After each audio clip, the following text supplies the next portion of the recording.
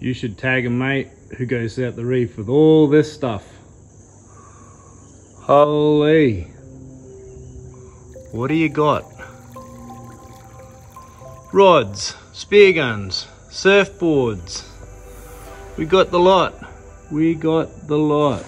Now that's how you go to the Great Barrier Reef. See you out there.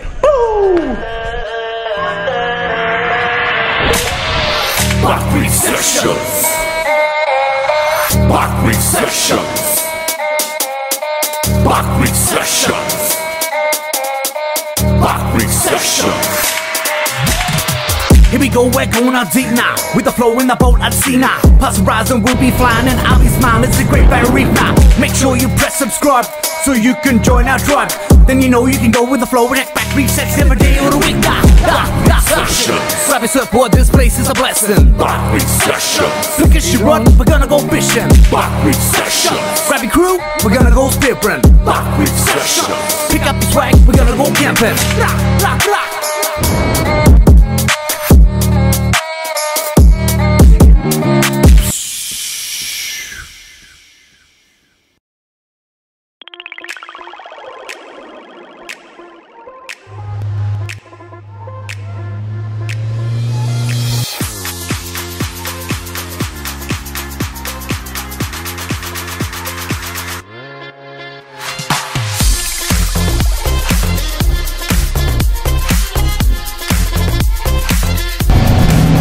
Josh? Shit day?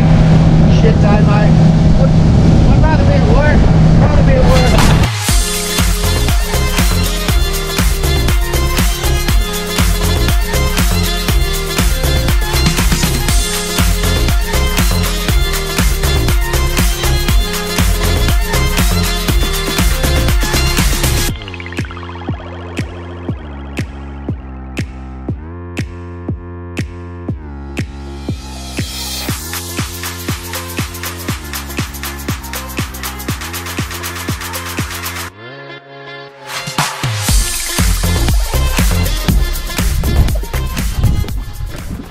All right, another back reef sessions. We're at the reef. Got Taz. tripping over. Jai's already in the water. Go for a spear. We're- We're right out the back of the reef today, so it's a back reef session.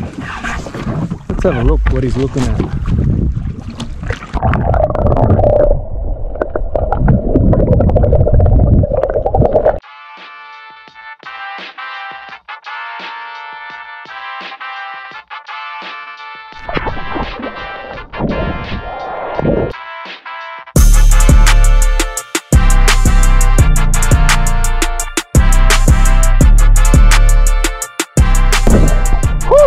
After 10 days of rain, coming out the Great Barrier Reef for a bit of what? Back reef, something or other? Back reef sessions! Back reef sessions, that's the one. Grab your surfboard. This place is a blessing.